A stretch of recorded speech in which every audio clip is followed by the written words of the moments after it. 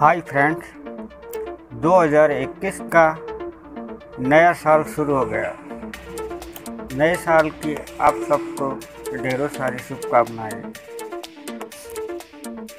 आपने थंबनेल देख लिया होगा और टाइटल भी पढ़ लिया होगा।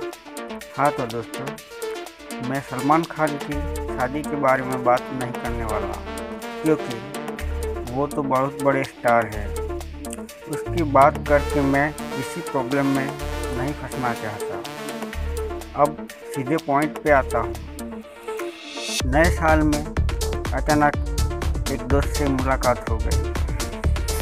बातों बातों में दोस्त ने शादी का ज़िक्र कर दिया।